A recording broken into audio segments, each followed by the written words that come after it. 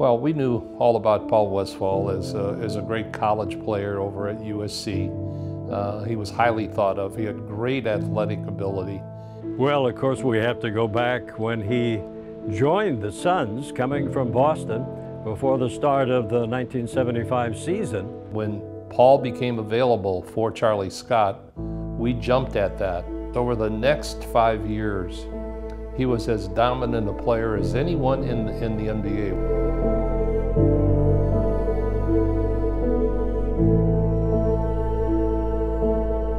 Paul and I clicked right off the bat. We just ran beside each other down the court and passed and shot and scored.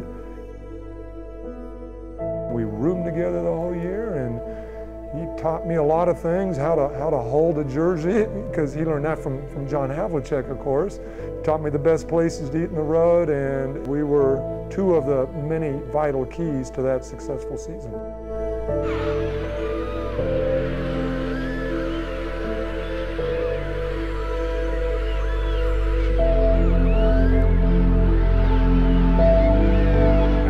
Watching Paul. Um, just really athletic, could really score. Uh, one of the first guys that I really remember using his offhand so well.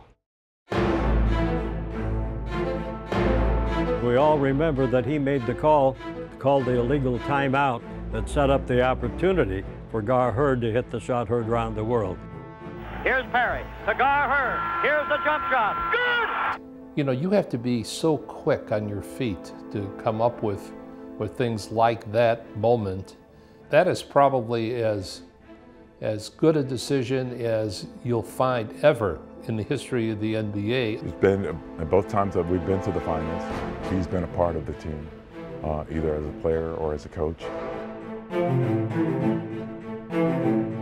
But in looking at our personnel um, at the time, and looking at the training that Paul had had under Cotton Fitzsimmons, I mean, he was a logical, natural guy to step in. Obviously, he coached me, but he's been a great friend.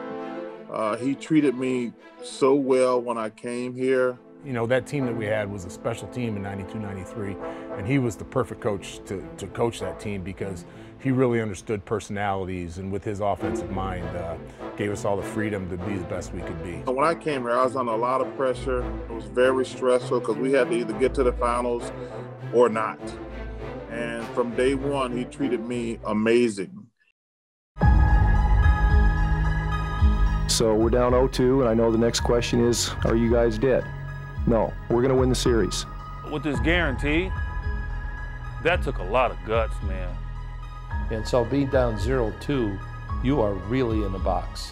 When Paul made that statement, it's exactly what our team needed to hear.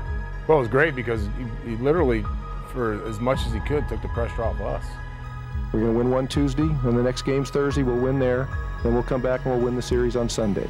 And everybody will say what a great series it was. I remember Coach making that declaration, and um, those are the kinds of guys that I looked up to. He was not hesitant at all to say how he felt and how he felt his team was going to do, and I think we could say he hit the nail on the head. I think you can put this one in the deep freeze. It's in the ice box. Yeah, it's over. The Lakers know it's over.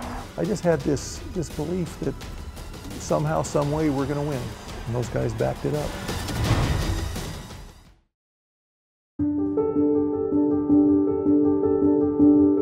This Naismith Hall of Fame, it's, it's for the iconic figures, and Wilt, Elgin, Russell, Jordan, Charles Barkley, people like them who often seem bigger than life. And now it's for me too. It's such a great honor and a pleasure if somebody said, hey, stand on stage to me and bring me into the Hall of Fame. It meant a great deal to me, and, and I love the guy.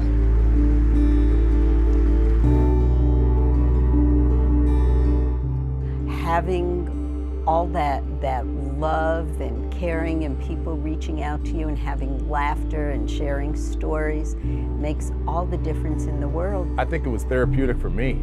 It's a tough situation, but when I went in there, uh, I was just amazed at how Paul was so positive and um, the things he's taken out of this. It, it really set me straight because I walked in there kind of you know, iffy, feeling bad and everything. When I sat and talked to him, uh, his attitude and his how positive he was really uh, made me feel better. When I flew out here to spend some time with him and just tell him how much I love him, appreciate him, and respect him, uh, it's amazing uh, what he's done for me as a friendship. So when I heard those stories about Coach Westphal, I felt a uh, kindred spirit um, because of our backgrounds, because of who uh, he is and what he's meant to this organization and to the league. And then you meet Cindy and you're like, okay, this is a family that, you know, I just want to be around and support and help any way I can. You know, when you leave here, you know, you can't take anything with you.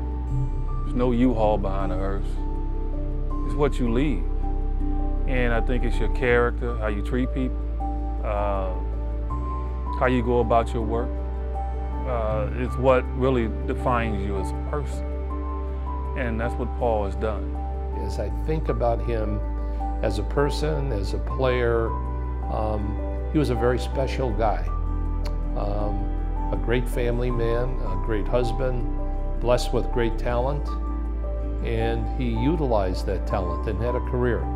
He had a career doing the things that he loved doing. He loved the game.